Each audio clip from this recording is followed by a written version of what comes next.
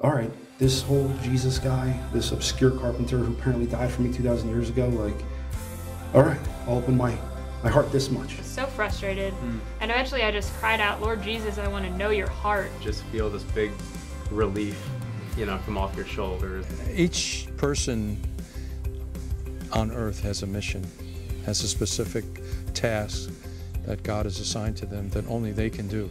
We don't have to be afraid of what we're going to see in the mirror because we're loved. It's what the gospel tells us, what the cross tells us. It's safe to look in the mirror.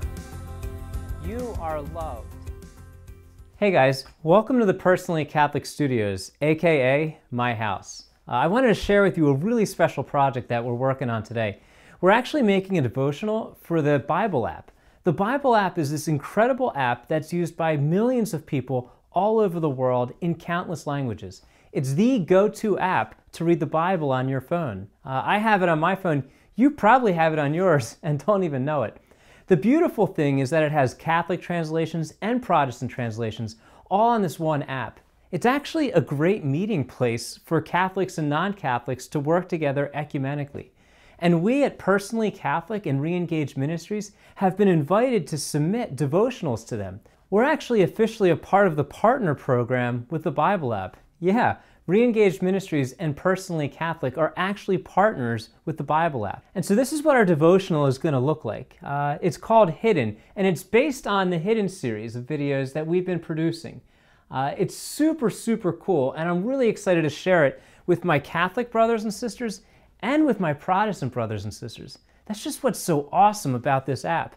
And I don't know if you know this, but we actually have already submitted devotionals to the Bible app, and we've had over 25,000 people subscribe to our devotionals and read with us day by day and go deeper into Scripture and the relationship with God through messages that we've given them. And the really cool thing about the Bible app is that it has not only text, but they also accept video as well. So our short videos are part of their devotionals. It is just so cool. This is just an amazing opportunity to get to share the Word of God as a Catholic Christian with Christians, including Catholic Christians from all over the world.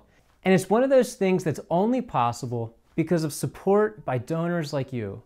So thanks for helping us to be able to help people through the Bible app, to have a more personal relationship with God in the heart of this Catholic Church, but also beyond. You're loved. So look in the mirror honestly, and then don't be afraid to listen to God.